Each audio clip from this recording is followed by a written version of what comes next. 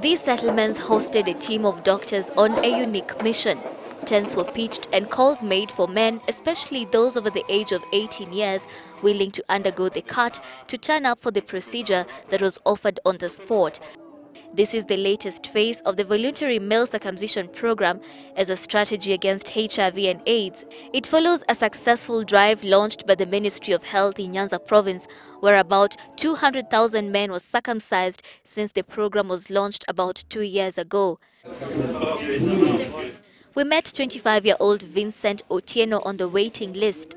Vincent says that even before he took the bold step today, he had made the resolve seven years ago, largely because he was pushed by friends to do so where he worked in parts of Eastern Province and because his relationship with his girlfriend was strained. Tutaifanya kimila ama we iwe sisi tuko friend, tuko sawa.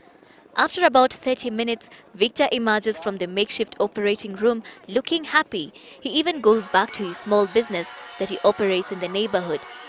There is compelling evidence from research that there are various health benefits of circumcision, including reducing the chances of contracting sexually transmitted infections, and it makes it easier for the men to maintain personal hygiene.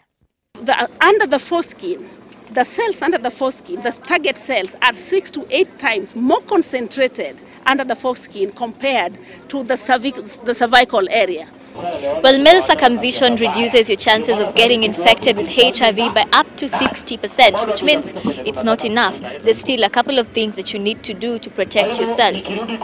One can protect themselves by abstaining from sex, being faithful to one partner whose HIV status you know, reducing the number of sexual partners, and using condoms correctly all the time.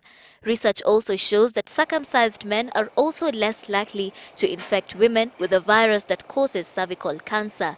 This drive targets 100,000 men in Kibera and will go on until December this year, free of charge in all public health facilities.